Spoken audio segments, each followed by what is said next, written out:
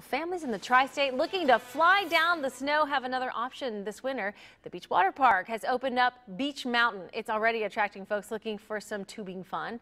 Nine on your side's Butler and Warren County reporter Jay Warner has a story from Mason.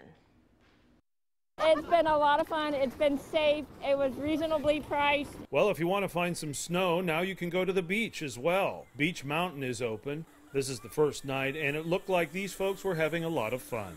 Has it been fun up there tonight? Yeah. What's fun about it? Just, I guess, the whole experience. And if you missed opening night, don't worry about it. Folks here at the beach say the fun will last until March 1st of next year. What's the best part? What's the most fun about it?